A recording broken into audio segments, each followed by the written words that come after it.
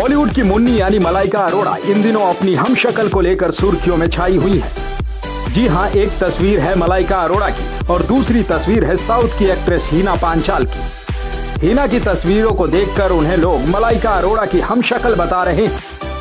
वहीं हीना पांचाल अपने hot look से मुंबई की बारिश का तापमान बढ़ा रही है।